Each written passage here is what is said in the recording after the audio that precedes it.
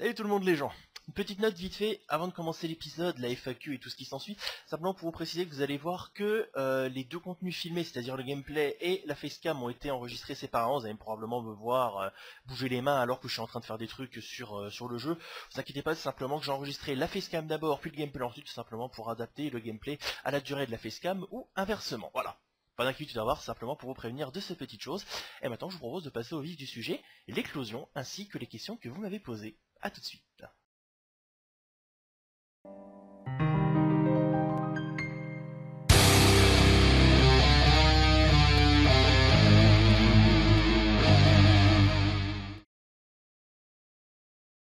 Salut tout le monde les gens, ici Babouliné pour le 45e et dernier épisode de notre réglogue sur Pokémon Storm Silver avec de Soul Silver sur DS. Salut, bienvenue, j'espère que ça va pour vous. Et nous sommes arrivés officiellement au terme de cette aventure. Nous avons, vous avez vu que le Nuzlocke a été un succès, on a eu le montage des morts vendredi, et maintenant il ne reste plus qu'une seule chose à faire, faire éclore les derniers œufs, et pour éviter qu'on soit là à dire « Oh tiens, un œuf de X, oh tiens, un œuf de Y », je me suis dit que ça pourrait être une idée d'agrémenter ça d'une petite FAQ. Alors sans thème particulier, du coup je vous ai demandé de me poser vos questions. Elles tournent principalement autour de l'actualité Pokémon, je, m'y attendais plus ou moins, mais il y a d'autres questions, euh, questions sur d'autres sujets, donc ça peut être intéressant, et je vous propose de rentrer dans le vif du sujet dès maintenant. Alors pas de récapitulatif de l'équipe puisqu'il n'y a plus vraiment de dog, alors vous marquez sur le layout quelque part euh, par là qu'il n'y a même plus d'équipe ou même par là qu'il n'y a plus de questions du jour, simplement que je vais afficher vos questions, comme ça vous savez à quoi je réponds en même temps.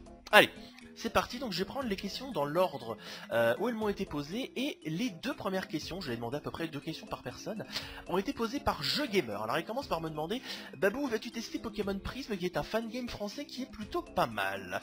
Alors Pokémon Prism, j'avoue que je... En fait, j'avais entendu parler d'un Pokémon Prism, c'était un Pokémon Prism en anglais, un hack de cristal qui ferait une sorte de version moderne du truc. Celui-là, j'avais prévu de, le faire aussi quand, il sortira, pas forcément quand il sortira, mais quelques mois après. Et la version française, j'ai été voir vite fait, quand j'ai vu, j'étais vite voir vite fait, parce que curiosité oblige. Le concept a l'air cool. Après, on voit un peu plus. Ça a l'air prometteur. Voir un petit peu en termes de longueur s'il y a de quoi faire un bon effet, j'espère que oui. Et puis on pourra peut-être essayer de se caser ça à un moment donné. Je préfère, comme d'habitude, ne pas donner de date, parce que justement, j'ai pas envie de prendre un engagement que je ne pourrais, que je ne serais pas forcément, euh, comment dirais-je, capable de respecter. Donc, on va dire un probablement. Et il demande aussi quelle est ta team de méchants préférés? Alors j'avais fait des tops l'année dernière, à l'époque euh, par rapport à là-dessus, et je pense que ma position n'a pas changé. Ça reste la team Rocket, tout simplement parce que, ok, dans les premières versions, ils sont parachutés là, présentés comme les méchants, parce que parce qu'il fallait bien des adversaires autres que les dresseurs et les champions d'arène et le rival. Et en fait, j'aime bien la manière qu'ils ont de, faire les choses. À savoir qu'au final, ils ont, en fait, ils ont vraiment, bon, comme toutes les teams, ils ont vraiment un plan. Et euh, ce que j'aime, j'aime bien chez eux, c'est que leur chef euh, se cache derrière une activité légale, à savoir être champion d'arène. Je, crois que c'est le seul euh, chef de team criminel à avoir ce, statut, à, savoir être, avoir une activité légale et, et avoir ces activités illégales en même temps avec la Team Rocket. Je trouve, que c'est vachement pas mal et surtout que ça montre aussi, avec tout ce qu'on voit de la Team Rocket dans les jeux, c'est qu'il y a finalement une espèce de mainmise sur la région de Kanto avec le champion d'arène, le casino de Céladopol, plus les autres, euh, les autres, les autres plans qu'il essaye de faire, et la fameuse théorie comme quoi ce serait pas forcément les méchants du jeu. Bon ça, Chacun se fait son opinion là-dessus, mais c'est une théorie qui m'intéresse, franchement. Et je dirais qu'en deuxième position, il y aura peut-être la Team Plasma de Noir et Blanc 1, parce que justement, eux, ils ont compris qu'il fallait pas non plus se montrer tout le temps, faire euh, plein d'opérations, arriver finalement à faire ça en infiltration pour justement euh, balancer le gros truc à la fin. C'est pour ça que j'aime beaucoup la fin d'histoire de Noir et Blanc, par. Voilà. Mais la réponse ici, Team Rocket. Question suivante qui nous vient de DS Duck. Alors quel est ton Zelda préféré? Twilight Princess, de très loin, parce que franchement, il a, ce Zelda a une ambiance absolument géniale. L'environnement, enfin, j'aime quasiment tout ce jeu. C'est difficile d'expliquer pourquoi en restant objectif. C'est clairement subjectif, j'adore à peu près tous les éléments de ce jeu. Le, passage entre Link normal et Link Lou, le délire du crépuscule, certains items qui sont absolument énormes. Bon après, l'histoire, ça reste du Zelda classique, donc y a ça casse pas vraiment trois pattes à canard à ce niveau-là mais je trouve que le monde de Twilight Princess est celui que j'aime le plus et de très très loin. Et il demande aussi, vas-tu faire les autres Zelda comme Skyward Sword, Wind Waker et Vieux Zelda? Oui, Alors, je vais pas donner de date, mais oui, à terme, j'ai prévu de faire un let's play sur tous les Zelda sortis sur la chaîne.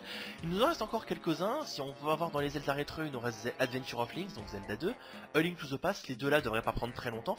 J'aimerais refaire Link's Awakening, parce que Link's Awakening, ça a été le premier vrai let's play de la chaîne, enfin quand dis premier vrai let's play de la chaîne, c'est-à-dire on commence du début jusqu'à la fin, et il y a eu des petits problèmes euh, techniques de mon côté, et du coup j'aimerais refaire un petit let's play vraiment euh, sans prétention là-dessus, peut-être en début d'année prochaine, je sais pas trop, en tout cas ce serait pas un let's play très long, euh, attendez-vous à 15 épisodes maximum, parce que le jeu est vraiment pas long du tout.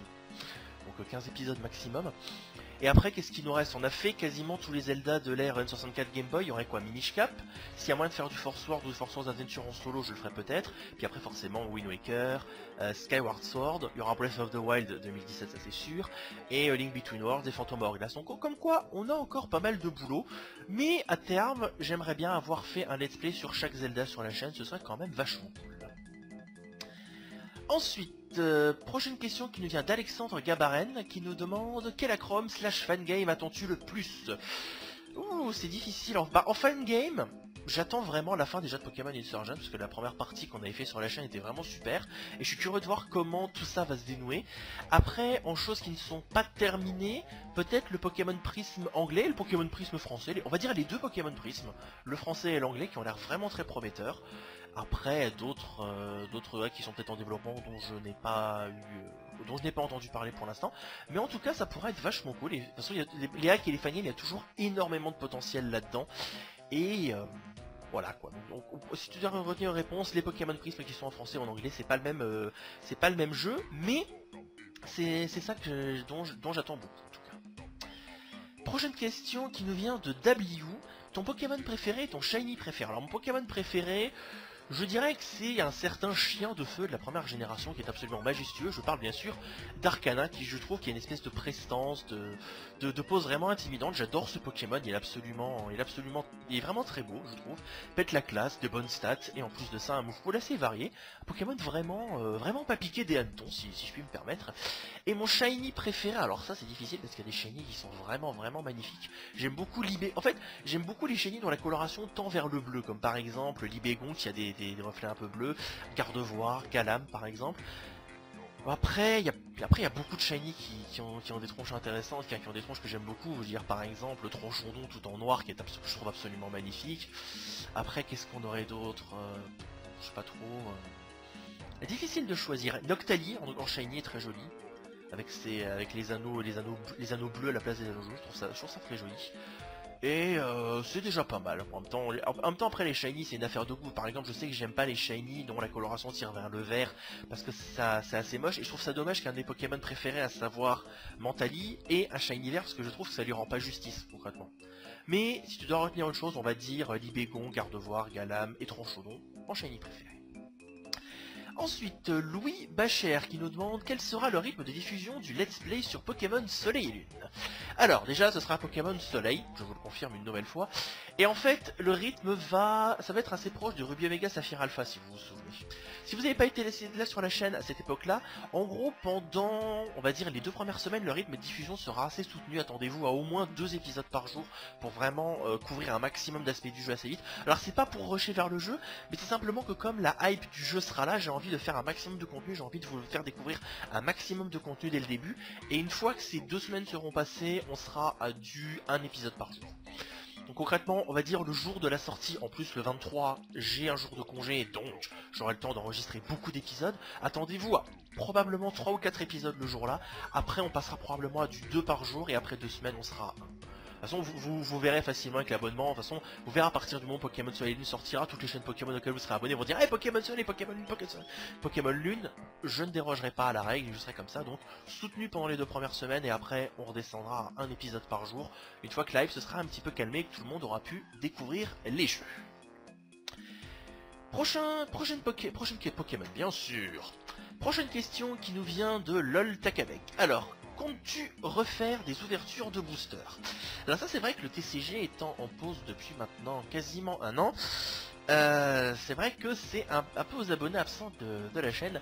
Et le problème réside dans le fait que je n'ai pas de setup approprié pour faire des ouvertures de cartes. Si vous vous souvenez, avant, bon, avant j'avais un appart un peu plus grand, donc du coup j'étais pas forcément devant le PC pour ça. Je me mettais à la, table qui était à côté, et puis je pouvais enregistrer en mode tranquille au poète poète. Là, j'ai une chambre qui est relativement petite, et le seul endroit où je pourrais faire ça, ce serait le bureau devant l'ordi. Mais Ceci étant, je n'ai pas complètement abandonné les ouvertures de cartes. Si vous me laissez deux minutes, je vais vous montrer quelque chose.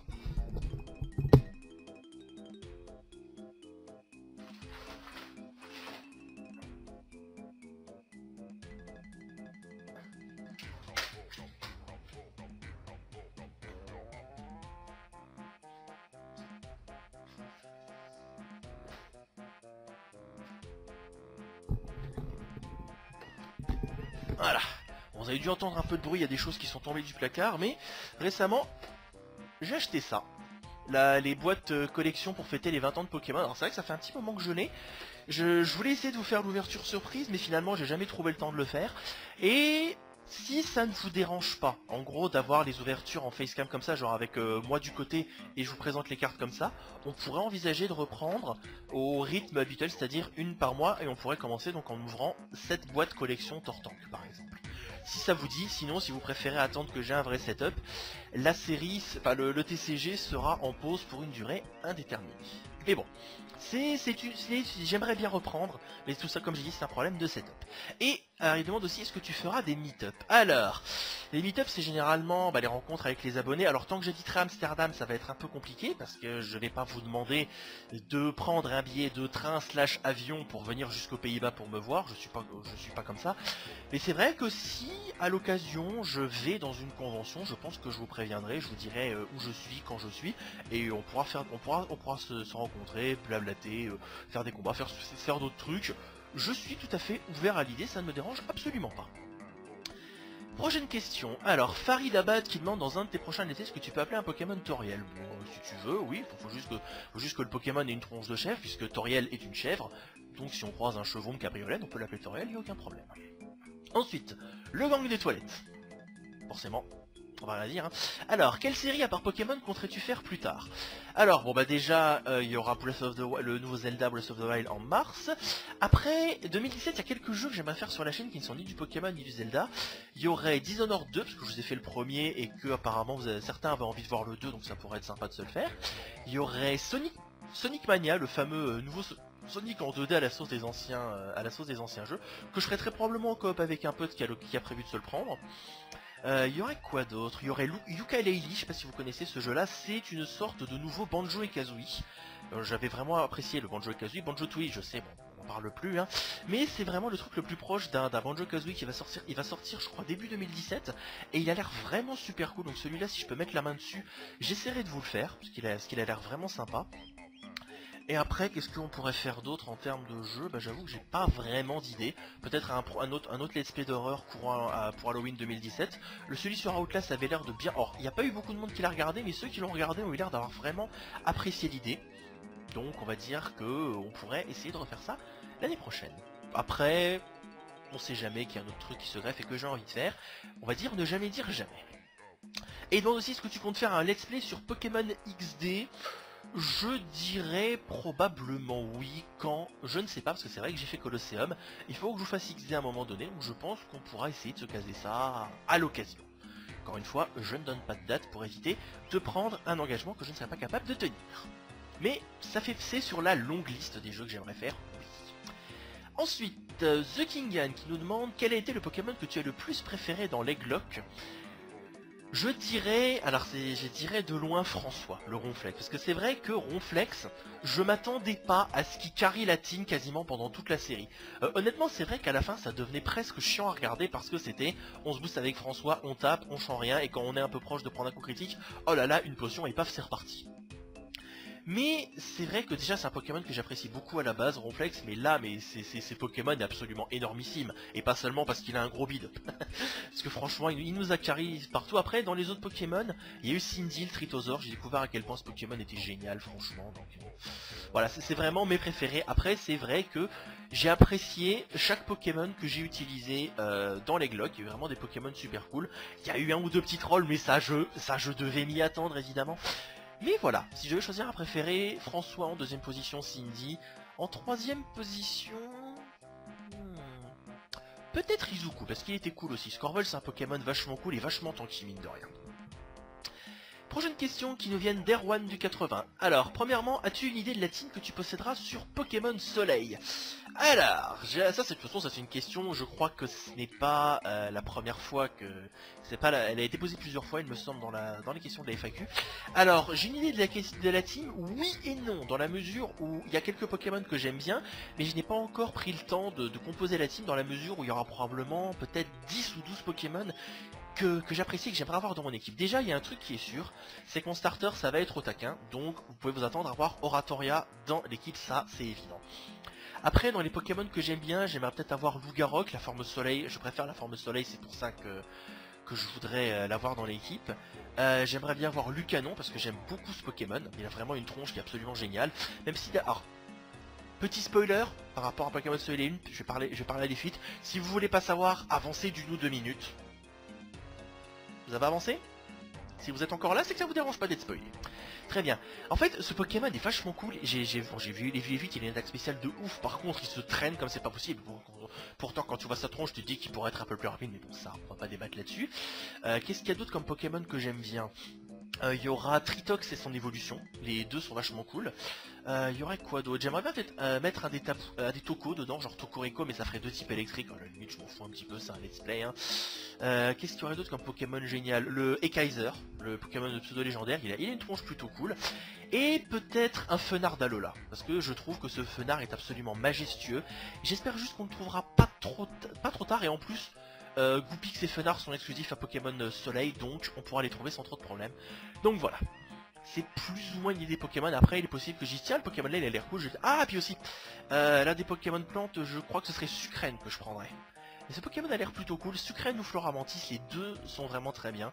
Je sais pas, je sais pas encore lequel des deux, mais voilà. T'as plus ou moins une idée, il y a pas mal de Pokémon que j'aimerais prendre.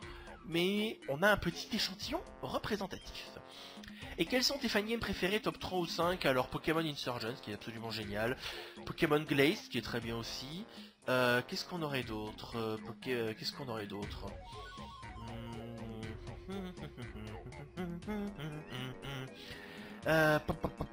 Quoi d'autre? Euh, c'est vrai que parce qu'il y a des Pokémon euh, fan qui des trucs vachement sympas, c'est ça le truc. Uranium est vachement bien, pour avoir, pour avoir pu le tester. D'ailleurs Uranium qu'on fera d'ici euh, d'ici pas très longtemps, j'en dis pas plus, parce qu'il y a des questions par rapport à, Uranium forcément. Pokémon Uranium est vachement cool. Euh, qu'est-ce qu'il y a d'autre? Pokémon Suite est assez rigolo, et j'attends beaucoup de Pokémon Sage, le jeu créé par 4 Vous avez vu un petit extrait pendant mon, top 10 de mes, de mes fangames préférés, et franchement celui-là il a un potentiel pour être assez énorme. Question suivante qui nous vient de Kawajuju qui nous dit Salut Babou, quelle est ta Dream Team dans Pokémon? Oh, le genre de position que je déteste. Euh, c'est difficile parce qu'il y a tellement de Pokémon que j'aime beaucoup, que j'aimerais avoir dans l'équipe, honnêtement. Je sais pas, probablement Arcanin, Gardevoir, euh, Lucario, euh, Tortank, Crocori, Bléand dernier, Florges, voilà. On va prendre. J'ai essayé de prendre un Pokémon par génération. Enfin, quoique, il y a deux Pokémon de la première génération, donc chut Hein. Au pire, au, pire, vous pouvez remplacer un des Pokémon de la première génération par Faramp, ça fait un bon type électrique en plus, j'aime beaucoup ce Pokémon. Voilà, ça c'est vraiment des noms qui, me sortent comme ça, des noms de Pokémon que j'aime beaucoup. Euh. Ça, c'est le genre de question, je dois faire une équipe comme ça sur la volée, je suis pas vraiment fan parce que c'est prendre 6 Pokémon parmi maintenant quasiment 800. Euh. Voilà, je veux dire, vous, vous pourrez le faire, en, réfléchissant quelques temps, je pourrais le faire, mais comme ça, à la volée, c'est difficile. Donc voilà, prends, prends quelques-uns parmi les noms que j'ai donnés, ça fera une bonne équipe. Prochaine question. Euh, qui nous vient de Izuku Smash qui demande alors fais un petit top 6 de tes Pokémon préférés du de l'Eglock donc François alors c'est pas vraiment dans un ordre particulier donc François euh, Cindy euh, Izuku Firewolf qui était vachement cool aussi Sandra et qu'est-ce qu'on peut mettre en dernier? Qu'est-ce qu'on peut mettre en dernier qui était vachement cool? Psyno, le Mentali. Voilà. Donc ces six là franchement ils auraient pu faire une Dream Team tout seuls mais bon certains ont été emportés, d'autres pas voilà. Mais c'était vraiment les Pokémon que j'ai vraiment plus apprécié utiliser, en sachant que bien sûr, j'ai aimé utiliser tous les Pokémon que j'ai utilisés dans l'équipe. Pas non plus dire que les autres c'était pas bien non plus. Et il demande aussi, tu comptes faire quelque tu comptes faire d'autres types Egglock Challenge Bah écoutez, c'est une série qui a l'air de, beaucoup vous avoir plu, donc on pourra tenter l'expérience, faut juste trouver le bon jeu pour le faire, mais oui, je suis tout à fait ouvert à l'idée de refaire un Egglock, et en plus, quand on le refera, il y aura plus de monde, donc ça veut dire plus de monde, plus de, plus de Pokémon, plus de lolol. Une question qui nous vient de euh, Camille Trian ou Trian qui nous demande quel jeu feras-tu après Pokémon Soleil et Lune? En disant que Platinum X serait pas mal. Alors non, après Pokémon Soleil et Lune ce sera Pokémon Uranium parce que Pokémon Uranium a suffisamment attiré l'attention. Et du coup je me dis qu'après avoir pris la hype de Pokémon Soleil et Lune, je me dis que Pokémon Uranium ce serait bien de le faire. En plus il n'est pas excessivement long, il y, a, un bon challenge, donc on se fera un petit Nuzlocke sur Uranium après Pokémon Soleil. Ça c'est assuré, je sais pas encore quand. Ça commencera mais ça commence une fois que Pokémon Soleil sera terminé vous avez votre réponse. Alors, ensuite, Wixo Route 200 abonnés, première fois qu'il nous pourras-tu faire Zelda Skyward Sword? Oui, ça y a pas de problème, parce que c'est, comme j'ai dit un peu, avant, j'ai prévu de faire tous les, à terme j'ai prévu de faire tous les Zelda à un moment ou à un autre, et Skyward Sword est sur la liste, il n'y a aucun problème, ce sera probablement l'un des LSD les plus longs que j'ai fait, mais il sera sur la liste, il n'y a aucun problème. Et te rappelles-tu de Kikipuro et de Mikado Games? Et bien c'est moi, bah oui forcément ça c'est des noms que je vois régulièrement dans les commentaires, donc oui, je m'en souviens. Ensuite, Tyrix120 qui demande vas-tu reprendre les ouvertures de cartes Donc j'ai répondu à cette question tout à l'heure. Donc euh, si le fait d'avoir... Si en gros le fait... Alors je vais juste reprendre la boîte qui est juste... Si en gros ça vous dérange pas de me voir en gros euh, mon truc d'un côté et les cartes de l'autre, oui. Sinon, euh, on va attendre d'avoir un setup. C'est vous qui voyez. Au pire, je peux vous mettre un stropole dans la description, comme ça, vous pourrez me donner votre avis si ça vous dérange vraiment de voir ma tronche pendant les cartes. Et donc, du coup, ce sera simplement un truc où je présente les cartes, on pourra reprendre un rythme plus ou moins régulier. Alors sinon, si tu souhaites en parler, ton travail se passe-t-il bien? Est-ce que tu peux nous en dire plus sur celui-ci? Alors oui, mon travail se passe très bien. Et donc, mon travail. Alors, je suis euh, l'intitulé exact du poste, alors euh, c'est traduit en français parce que je bosse dans une boîte qui a tous les intitulés des postes en anglais, je suis spécialiste en localisation et contrôle qualité. Concrètement mon travail c'est quoi? Je suis avant tout traducteur, c'est-à-dire qu'on va me donner du contenu, alors c'est de l'anglais à traduire vers le français, et alors je, suis, je travaille dans le jeu vidéo, euh, vous, D'ailleurs, la boîte, vous la connaissez peut-être.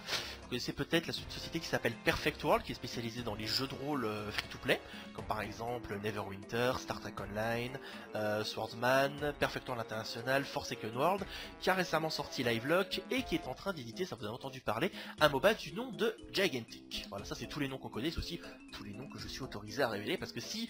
Je veux aussi que je fasse gaffe dans ce que je dis, parce que si je dis des choses confidentielles et que quelqu'un de la boîte tombe dessus, je peux me faire virer. Donc je vais essayer de faire gaffe à ce que je dis. Donc voilà. Donc on va me donner du contenu en anglais qui est destiné donc à la communauté francophone, donc il faut le traduire en français. Les deux contenus, on distingue toujours deux types, on a ce qu'on appelle les blogs et les drops. Les blogs, si vous voulez, c'est tous les contenus que vous voyez sur les sites dédiés au jeu et, euh, qui sont tenus par, euh, Perfect World, ou quand vous lancez, quand vous double-cliquez sur l'icône pour lancer le jeu, vous avez toujours, ça vous avez le lanceur avec par exemple quand vous avez des mises à jour à faire, et vous avez des fois des petites infos du style euh, week-end double XP, événement d'Halloween en cours, et eh ben si vous cliquez dessus, vous allez avoir un petit texte, et ce texte là, c'est ces trucs-là qu'on me demande de traduire. Ou même par exemple quand il y a une mise à jour du jeu, qu'on a toutes les notes de version avec les mises à jour apportées aux classes, aux compétences, aux items, les nouvelles quêtes et tout ça. Ça aussi c'est du contenu que je peux être amené à traduire. Et ce qu'on appelle les drops, c'est concrètement le contenu qui est dans le jeu. C'est-à-dire les dialogues de quête, les noms des personnages, les noms des objets, les explications de ce que font les objets, les compétences, ce que font les compétences. Vraiment, tout le texte que vous voyez en jeu, euh, il peut être contenu dans un de ces drops qui nous est envoyé par les développeurs et nous on doit le traduire et le, relire pour ensuite le renvoyer aux développeurs pour que eux mettent le texte en jeu. Quand vous choisissez de mettre le texte en français, que ça s'affiche en français. Ça, c'est ce que je, c'est les trucs principaux que je fais. Après, pour ce qui est contrôle qualité, ça peut être par exemple on a des joueurs qui nous signalent des bugs, par exemple en nous mettant des, screenshots. Un, truc tout bête. Récemment, ce qu'on a eu, c'était sur, euh, c'était sur Swordsman. En gros, quand, vous atteignez le niveau 5, vous avez une quête qui vous demande de choisir une école d'arts martiaux. Et l'idée, c'est le problème, c'est que quand vous allez leur parler dans la version française, vous cliquez dessus, vous avez le texte qui s'affichait en chinois. Parce que à la base, Perfect World est une société basée en Chine. Et donc du coup, bah, le jour-là, j'avais reçu un mail de chef qui me dit ah tiens Fred, il y a un... Oh, oui Fred c'est comme ça que je m'appelle. Il Fred, il y a un joueur qui nous a remarqué, ça sur la version française. Est-ce que tu peux te connecter sur le jeu et aller vérifier qu'il dit pas de la merde? Et ce que, ce que j'ai fait, donc du coup je me suis créé un personnage vite fait, j'ai fait, j'ai fait les quelques premières minutes du jeu, effectivement, et euh, là, je, dis, bon bah oui, effectivement, le texte est en chinois, donc faudra corriger ça, ou euh, ça peut être des trucs du style, euh, machin, un truc qui s'affiche pas, et puis voilà. Ça allait vérifier des choses en jeu, comme par exemple on a, quand on a des mises à jour, aller vérifier que euh, les, les, les, compétences ont été correctement mises à jour par rapport à ce qu'on dit dans les notes de version. Admettons si on dit les dégâts ont, sont passés de 30 à 20 et qu'il faut vérifier que c'est bien affiché 20 en jeu et pas 30, par exemple. Ça, ça fait partie de, tout, ce que, de tout ce que je peux faire euh, dans mon travail. ce qui est déjà pas mal, soit dit en passant. Ensuite, euh, prochaine question qui nous vient de Coco29. Quel âge as-tu? 28 ans. Et comme, alors comme j'habite aussi aux Pays-Bas, alors je suppose qu'il veut dire comme tu habites aussi aux Pays-Bas, ou exactement, que j'habite à Amsterdam, la capitale. Et euh, plus précisément, je suis dans le quartier à l'extrême ouest de la ville, le quartier d'Osdorp. Je n'en dirai pas plus à ce niveau-là, mais ça peut vous donner une bonne idée de ma localisation géographique. Prochaine question euh, qui nous vient de Zaox. Quel Pokémon de l'omelette t'ont le plus marqué et pourquoi? Donc les Pokémon morts, bah déjà Psyno le Mentali parce que c'était un Pokémon que j'aimais beaucoup, c'était euh, il faisait partie du, trio qui vraiment qui, est en train de carrer qui de carrer l'équipe, il était vraiment très fort et il est mort à cause d'une capacité que je déteste représailles. Cindy parce que ça a été aussi un, sacré tank et il a fallu malheureux un malheureux concours de circonstances pour qu'elle nous quitte. Et je dirais peut-être Sandra parce que ce Pokémon avait réussi à faire pas mal de choses et il a fallu euh, un pseudo légendaire pour la dégager. Comme quoi, il faut quand même de sacrées forces en présence pour dégager des bons Pokémon dans cette équipe. Ensuite, sinon, quel champion dresseur conseillé des 4 ou autres t'a fait le plus galère? Hmm.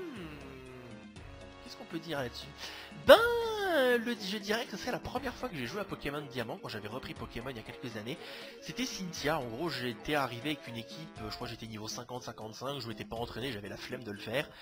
Et son Karchakroc a fait de la bouillie de mon équipe, littéralement. Et du coup, ça a été euh, en mode Dark Souls, euh, Git Good, vous êtes mort, tout ça, tout ça.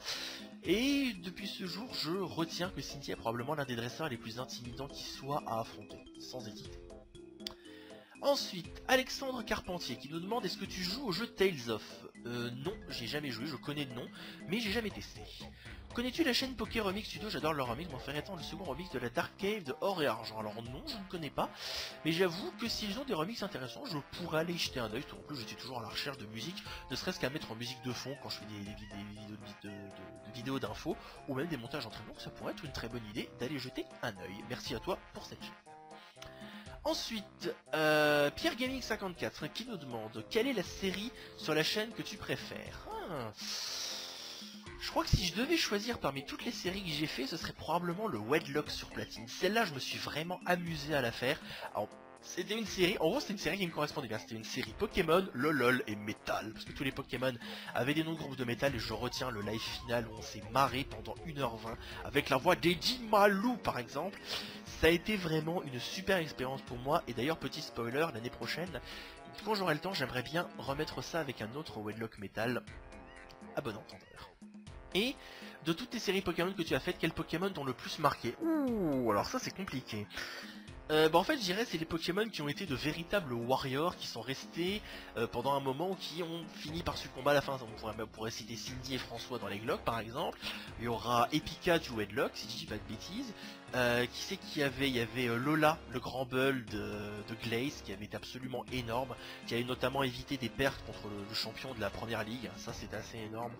Alors après, faut que je me souvienne aussi de tous les Pokémon que j'ai vus de tous les côtés. Il ah oui, oui, oui, oui, oui, le, euh, Ati, le colonel, le Donphan sur Zeta. Il était intuable ce Pokémon, c'était un truc de ouf gueudin. C'était un truc de ouf gueudin, il était intuable ce Pokémon.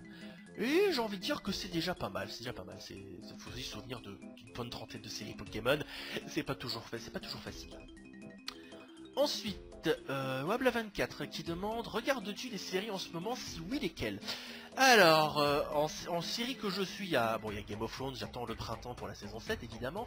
Alors après, en série que je suis, il y a, South Park, je, regarde la saison 20, même si je trouve qu'elle est un peu en dessous, mais je pense que à partir de maintenant, les séries de South Park, faut pas les prendre épisode par épisode. Qu'il faut plutôt voir les saisons euh, dans leur globalité, et en gros avoir tous les arcs qui se rejoignent. Et là, je pense qu'on peut juger de la qualité. Après, en termes de séries, je regarde pas des masses de grand chose. Je re-regarde de vieilles séries. En ce moment, je re-regarde The IT Crowd, par exemple, si vous connaissez pas. C'est une série britannique où, en gros, ça suit le quotidien du département informatique d'une grosse boîte à Londres. Et en gros, c'est des geeks de base. En gros, si vous voulez, c'est Big Bang Theory, mais en drôle. Parce que Big Bang Theory, alors oui, je, m'excuse s'il y a des fans de Big Bang Theory qui regardent, mais honnêtement, Big Bang Theory, il faut passer la saison 4, c'est devenu de la merde. Là, c'est la série qui a su s'arrêter quand il fallait, c'est une série que je vous recommande de regarder, elle est pas longue, elle dure 25, 25 épisodes en tout. Si vous avez l'occasion de vous faire votre propre idée là-dessus, allez-y. Je vais, je, vais, essayer de pas vous influencer, mais moi c'est une série que j'aime beaucoup. Après, il y a toujours le coup de t'as des séries qu'on te qu'on te qu'on te qu'on te qu'on te, je vais réussir à parler, des séries qu'on te recommande Ok, j'ai pas encore jeté un oeil à des trucs du genre Black Mirror par exemple. Il paraît que c'est absolument, c'est très dérangeant, mais il paraît que c'est génial. Et bah, c'est déjà pas mal. Après, j'ai aussi pas mal de séries que, je dois, que j'ai en réserve et que je dois regarder, comme par exemple Archer.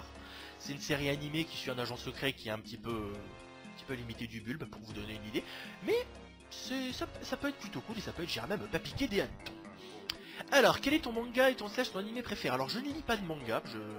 C'est pas, en fait, c'est pas que je n'aime pas, mais c'est que j'ai jamais pris le temps de me pencher sur la question. C'est plus ou moins pareil pour les animés. C'est que c'est un monde où il y a tellement de choses et j'entends tellement de trucs un peu partout que au final, je sais pas quoi regarder. Mais de ce que j'ai regardé, alors en manga, j'en ai pas vraiment lu, donc je peux pas vraiment répondre à cette question. Mais en animé, euh, ce que j'ai regardé, euh, j'ai pas regardé beaucoup de choses, j'ai regardé GTO. Ça, c'est une série que je trouve vraiment, vraiment très marrante, qui est vraiment très sympa. Euh, j'aime aussi euh, beaucoup Satsu Tenshi d'Okuro-chan. Je vais essayer d'expliquer ce que c'était. Au pire, vous savez quoi Je pense que je vais aller prendre un synopsis sur le net plutôt que de vous dire n'importe quoi. Alors, le concept exactement... Euh, voilà, le sujet porte sur les relations entre un garçon sans histoire et un ange venu du futur qui passe son temps à mettre de ce dernier dans une situation rocambolesque, ça le tuer violemment avec un gourdin géant pour mieux le ressusciter deux secondes plus tard avec ses, avec ses pouvoirs d'ange. Voilà, c'est une série qui est très con, mais que je trouve vraiment très marrante à regarder. Et aussi une série dont j'ai les DVD suite à un troll de la part des potes que je n'ai jamais regardé, c'est Fate Stay Night. Alors, je vais vous expliquer le troll si vous voulez savoir. En gros, avec ma bande de potes, il fut un temps où on avait un espèce de, on avait un forum pour notre communauté, on avait des espèces de petits jeux, et l'un des jeux c'était, on mettait un, screen d'un dessin animé ou d'un animé, et on devait deviner d'où ça vient. Et il se trouve que j'avais mis un screen de cette série là parce qu'en fait j'avais entendu le générique dans un, dans un jeu de rythme et je, trouvais le jeu le générique vachement cool. Donc je me bah tiens, j'avais ça en tête, je vais mettre un screen de Fate Stay Night. Je dis tu connais, t'as regardé et tout, puis du coup ils ont commencé à, ils ont commencé à me troller du genre je connais tout sur tout. Ils avaient même fait le jeu de mots au lieu de faire Fate Stay Night, ils avaient mis mon prénom, ils avaient fait ça Fred Stay Night. Et pour un troll à, je sais plus c'était à Noël 2014 je crois, J'ouvre le cadeau, on, était en famille, et là t'as mon cousin qui, t'as mon cousin et sa copine qui, donnent leur cadeau. J'avais les DVD de la série, puis quand j'ai vu ça, j'ai tout de suite compris le troll à cause de ça, puis ça m'a fait rigoler sur le coup. J'ai envie de dire pourquoi pas. Mais ça, faudra que je regarde, il paraît que c'est vachement cool d'ailleurs. Ensuite, patate froide qui demande quelle est ta région préférée? Hmm, Je vais jouer mon Gen Warner et dire Kanto. Quelle série Pokémon as-tu pris le plus de plaisir à tourner? Je dirais que c'était à égalité entre Leglock et le Wedlock sur Platine, c'était vraiment deux séries que j'ai adoré tourner.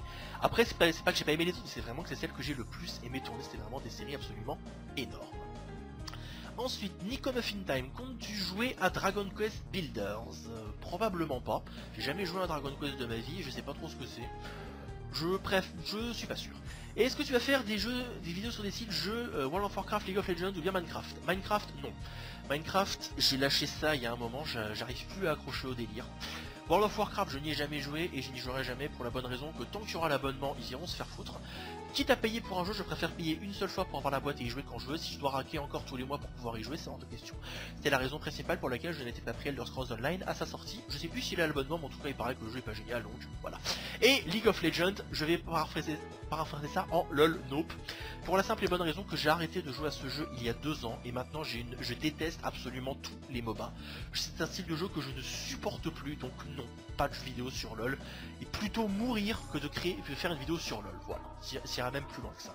Après, des vidéos sur d'autres jeux qui peuvent être intéressants, pourquoi pas. Ensuite, Killer Rondo qui demande est-ce que tu vas faire une série à côté de Pokémon Soleil et Lune? Non. La hype étant trop forte pour Pokémon Soleil et Lune, ça servira à rien de lancer une autre série là-dessus. Les gens n'auraient dû que pour Pokémon Soleil et Lune. Après, je sais pas, il y aura peut-être des gens qui regarderaient. Parce qu'il y aura toujours des gens, même si c'est une minorité, qui va regarder. Mais quand tu as le jeu Pokémon que tout le monde attend d'un côté et un petit jeu sans prétention de l'autre, tu vas regarder le jeu que tout le monde attend. C'est plus ou moins, c'est la logique que euh, je que, j'adopte. Ensuite, Sor qui demande pourquoi babouliner Eh bien c'est très simple, je, je, pense que vous avez probablement entendu parler d'un spécialiste français du détournement qui s'appelle Mosinor. Et il a une série de détournements sur Fast and Furious ou tous les films avec Vin Diesel. Et en gros, Vin Diesel, il a, je sais pas pourquoi, il a décidé de le renommer en Baboulinet. Et il se trouve que ces détournements, je les ai vraiment appréciés et j'arrive beaucoup à faire la voix de Eh monsieur, c'est moi Baboulinet Eh monsieur, vous aurez pas une cigarette s'il vous plaît voilà. En gros, c'était un gros délire autour de ces détournements à l'époque où ils sont sortis. D'ailleurs, je me suis si je vous ai pété les oreilles, je. Et ce qui veut dire que à force, bah, j'ai fini par adopter le pseudo de Babouliné parce que voilà, ça me faisait bien rigoler et j'ai gardé ce pseudo depuis. parce que je l'aime bien, tout simplement.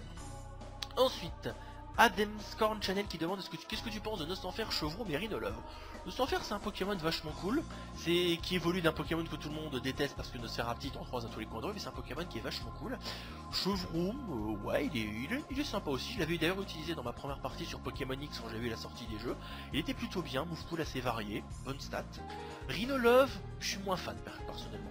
le design ne me dérange pas, après au niveau des stats tout ça, je suis moins fan.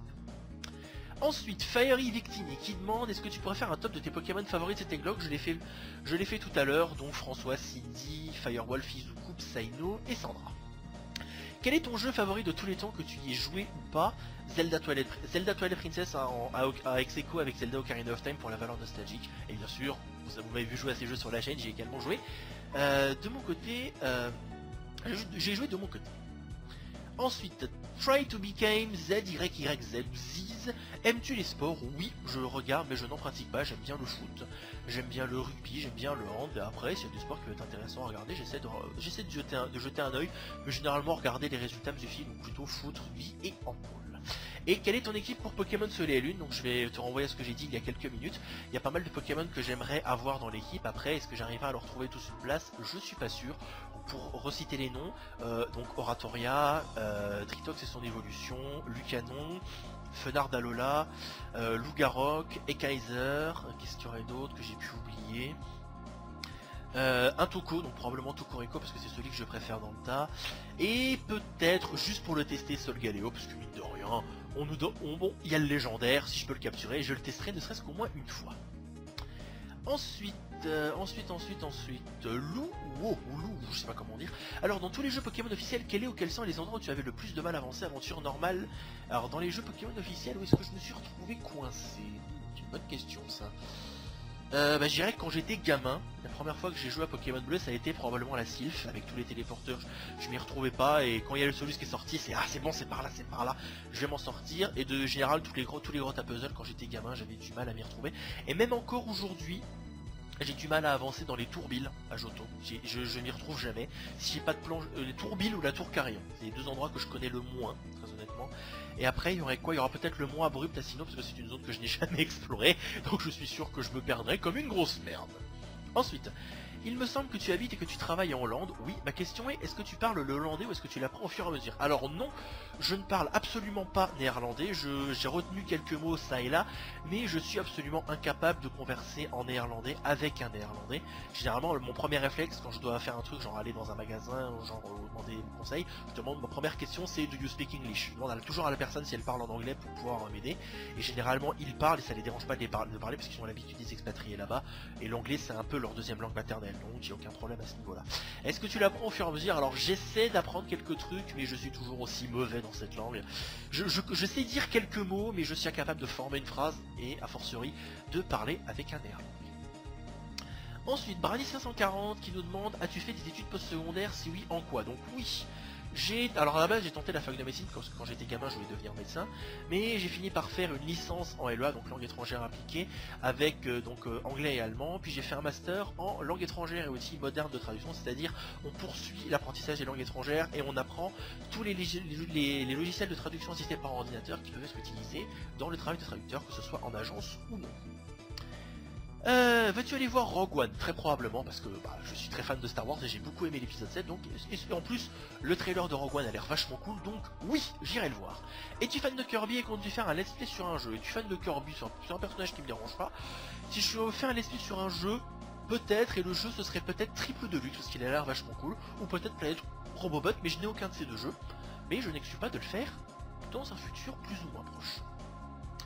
Ensuite, Pandragon qui demande quelle est ta méga évolution préférée? Ectoplasma, sans hésiter.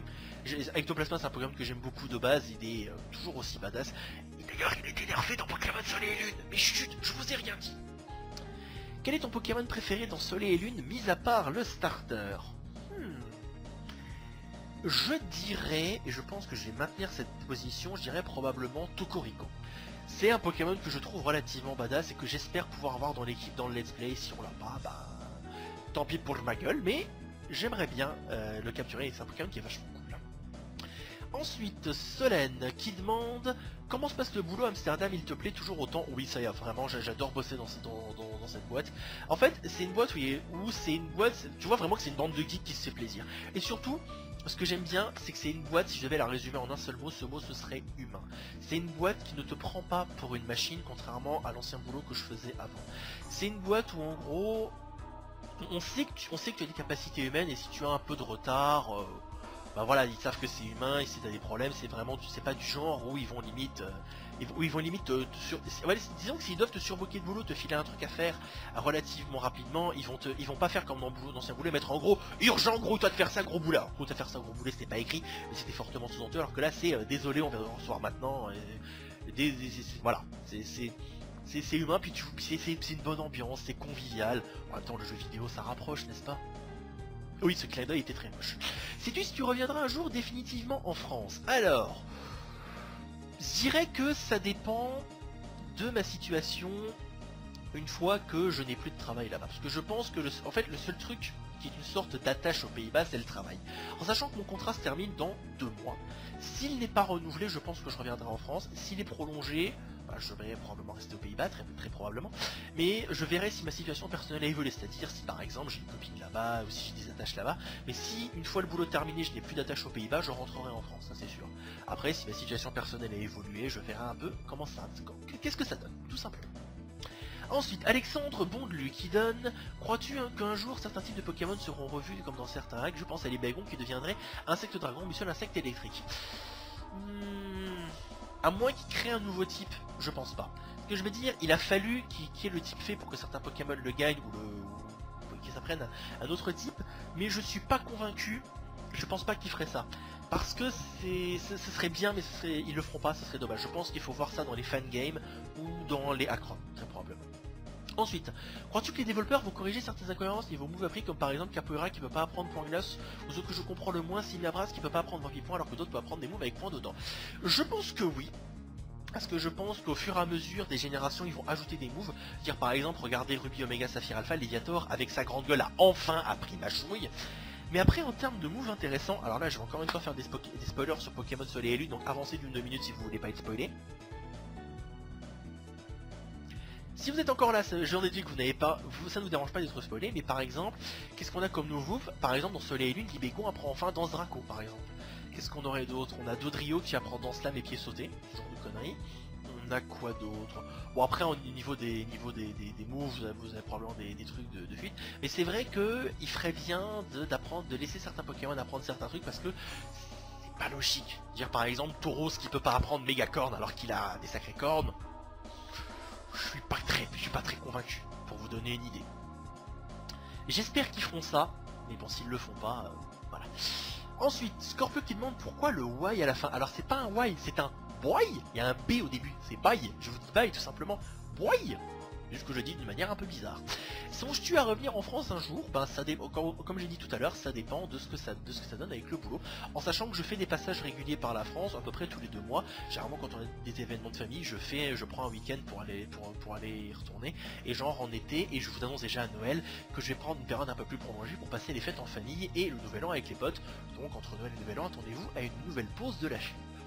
Ensuite, deuxième question d'Adam Scoran Channel, comment s'est passé le brevet et le bac pour toi? Alors, le brevet, bah, ça s'est passé plutôt bien, parce qu'en plus j'y suis allé à l'époque où il n'y avait pas les mentions et tout ça, donc du coup j'y suis allé les pieds en éventail parce que j'avais déjà les notes suffisantes pour l'avoir, aucun problème. Le bac, ça a été un peu plus stressant dans la mesure où j'étais en section scientifique et que j'étais une quiche en maths. Et quand tu es une quiche dans une matière qui compte qu'au F7, un petit peu dans la merde. Mais finalement, j'ai réussi à l'avoir sans mention avec un 11 dans cette épreuve en maths, en sachant que j'ai complètement passé un exercice. C'est pour vous donner une idée. Le bac à l'époque où j'ai passé, je m'en souviens encore très bien. Déjà, au niveau de la démonstration du théorème à démontrer, il nous avait fait un gros coup de pute. En gros, on avait 9 démonstrations à retenir et un truc qu'on devait admettre. On a dû démontrer le truc qu'on a admis toute l'année. Déjà ça, fuck you les organisateurs du bac.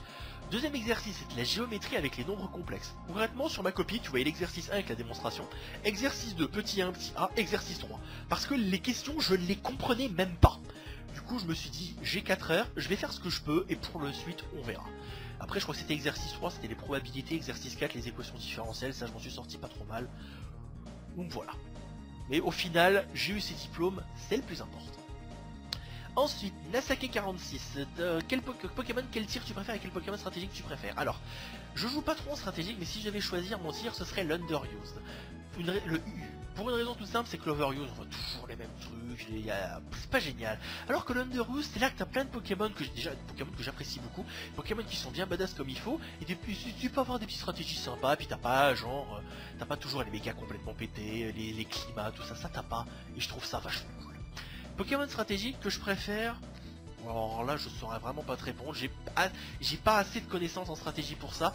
Je dirais, alors je me base sur à l'époque où je faisais la stratégie, c'est-à-dire en cinquième génération. À l'époque il y avait le euh, Scarino avec Impudence qui était vachement pété et j'aimais bien jouer Victini à l'époque. Victini avec euh, la ceinture pro pour justement euh, feindre les objets choix et quand, l'adversaire s'y attend moi lui balancer le truc qui va le faire chier? Ensuite, Yacine Ben Romdan qui demande c'est pour quand Pokémon Uranium en Nuzlocke? Après Pokémon Soleil, donc début 2017. Ensuite, Bifast Pokémon qui demande dans Pokémon Soleil pourras-tu donner la voix de Patrick de Bob l'éponge à un perso important? Oui, y a pas de problème. En plus, en plus c'est une voix que j'adore faire, c'est un coucou c'est moi, tu veux voir mes nouvelles chaussures Comptes-tu faire Pokémon Uranium? Oui, après Pokémon Soleil. Ensuite, Catherine Gervais qui demande d'où vient l'idée de faire un egglog sur Storm, Silver. Alors Storm Silver, je voulais un jeu qui soit relativement long à faire pendant l'été, puis finalement ça fait un moment qu'on n'avait pas fait de quatrième génération, qu'on n'était pas retourné à Johto, donc ça permet de combler euh, ces, deux, demandes. Et enfin, l'egglog, c'est un challenge que je n'avais pas testé, et c'est un défi qu'on me demandait depuis un petit moment. J'attendais qu'on soit plus nombreux, et là je disais c'était le bon moment. On était suffisamment nombreux, on a pu avoir beaucoup d'eux, et ça a été un défi vraiment super cool. Le Roxor, parmi les Roxor, c'est, alors je sais pas si tu veux un Pokémon ou dans l'équipe, alors si c'est dans les Glock, François, si c'est en général, je vous laisse vous faire votre idée, mais moi je dirais probablement Arcane. Ensuite, Patoche, pourrais-tu faire des tutos sur les codes, car sur Crash je comprends rien, sur Crash je comprends rien. Euh, bah ça, ça dépend de l'émulateur que tu utilises, mais normalement tout ce que tu as à faire, c'est si c'est des SMUM, si je crois que tu vas dans émulation, cheats, liste, et tu fais, enfin tu fais ajouter et là tu colles ton code, tu peux donner l'effet et normalement tu fais la manip qu'il faut et ça fonctionne. Enfin, les deux dernières questions pour aujourd'hui qui nous ont été posées par Thomas Dupille. Est-il compliqué de tourner tes vidéos en plus de ton travail de traducteur? Euh, bah, Dans la mesure où je tourne les vidéos le week-end, pas tant que ça, mais si je dois tourner des vidéos au jour le jour, ben, je dois les tourner assez tard. Et c'est vrai que ce serait un peu compliqué de, gérer ça.